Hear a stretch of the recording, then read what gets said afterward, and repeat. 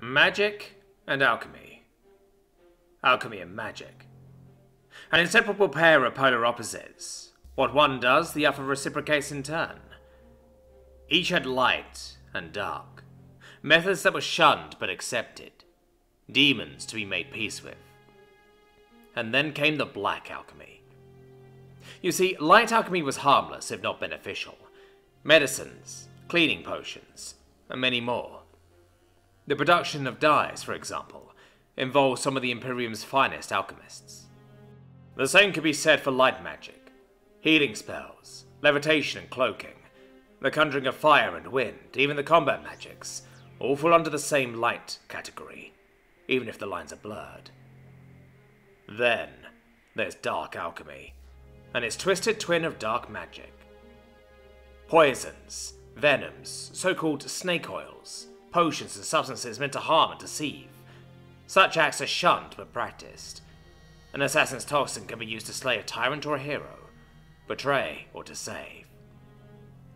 Dark magics are much in the same spells that control and break the mind, torture spells, illusions, necromancy.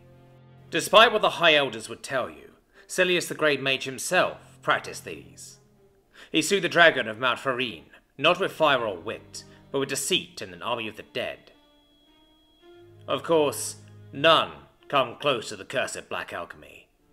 While the humans may revere their leader, we all spit on the name of the wicked king. The horrors he unleashed dwarf the myths of legend. Long may the great demonic war be burned into our memory, for the demon lords of Castle Vindicare are a testament to why the humans ought to be scorned.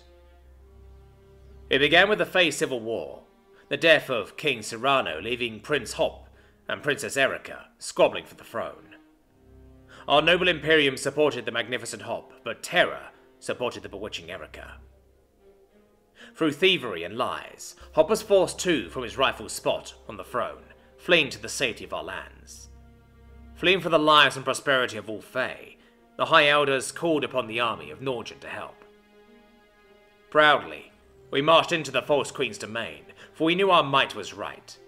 The Fae were tiny, dainty creatures that held weak wings and only reached a third of our height. Their armies were small and soldiers were puny. By the end of the month, our mission was to be complete. At least, it was until we encountered the humans. An army of the most vile scum, mercenaries handpicked by the wicked king and sent to do his bidding, ravaged our righteous men. They swore loyalty to the false queen and became agents of evil. Like bandits, they struck in the night, raiding our camps, setting fire to our supplies, slitting the throats of our beloved commanders. We punished them false queen supporters for this. What the humans took or destroyed from us, we did in turn. No Fae, be it man, woman, or child, ought to be allowing such carnage to happen. The dishonorable cowards refused to even send their army to properly fight. They merely hid behind the walls of the False Queen's castle as the humans brutalized us from the shadows. The False Queen refused to even surrender and face the justice of the blade. Our army was mighty, but it was not prepared for such a drawn out battle. What supplies we could not scavenge or create, we took from the heinous countryside as penance. Despite our victories, if they could be called that, what many vile human mercenaries we could slay were always replaced by more. It seemed that no matter what valiant effort we made, those demons would always seek to oppose us. I was sent as a bodyguard for the noble prince on the delegation to the Orc Goblin Alliance.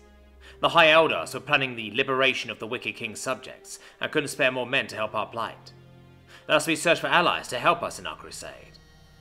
The Orcs and Goblins were bitter after their loss to the humans and Fae decades ago. The simple minded Bruce needed no more convincing than the promise of lost land and bounty to join our righteous cause, sweet words of the noble prince and the high elders working like magic. Thus, while the wicked king was distracted, sending more of his poor subjects off to die for the false queen, we struck. Our armies were fierce and relentless, backed by the might of the Imperium. Despite the clever tricks and technologies the Terran army held, they could not help but buckle under our weight. The road to the Wicked King was clear, and it was only a matter of time until we reached it. Soon we encountered not just what little human soldiers were left, but militia and civilians. The foolish humans were convinced to die for their tyrant. Despite our gracious officer's surrender, they always refused. Thus we marched on, trampling out what little resistance remained. And then came the Black Alchemy. Deep within Castle Vindicare, the demon lords concocted mixtures that surpassed all alchemy that came before it, unleashing the horrors beyond comprehension that were locked in the dungeons of the castle. Like a caged rabid animal, it attacked us, savagely and without warning, sparing no man and killing all. The devil's breath was a poison that tainted the very air we breathe, blistering and boiling the skin as your organs rotted inside of you. Carried by the wind, the acidic clouds would smother the battlefield, suffocating the unfortunate few trapped within it, and mutilating those who could escape beyond recognition. Then came the white fire, contained within flimsy metal barrels as great siege engines hurtled them towards the battlefield. It burned brighter and hotter than any spell or blaze, sticking to all that it touched as it was scorched under the relenting heat. If even so much as a drop landed on your skin, it would burn down to the bone. Those that survived the burns would, by some monstrous alchemy, almost always later die a slow and painful death. And lastly came Sarin, the most vile of all black alchemies. Clear and without odour, Terran mages would coat the battlefield with it as drops of death rained down. It would be a miserably slow, agonizing end. The men I watched die before me would meet a twitching and disgusting fate, their bodies failing them within minutes. To see a brave soldier, loved by his men and longed for by his family, watch as his own body convulsed and spasm as it defecated and vomited is not a fate I wish upon anyone. Under the horrors of the Black Alchemy, we were forced to retreat. Our mages were powerful and righteous, armies were plenty, but in a storm where one drop rain means death, we were helpless.